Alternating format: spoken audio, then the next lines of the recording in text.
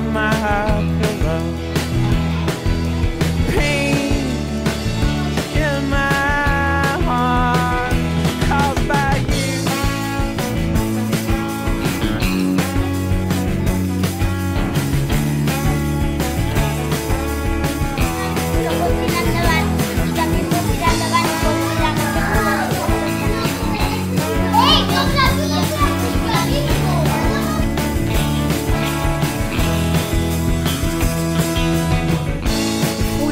Start anew. I would not hesitate. I'd gladly take you back.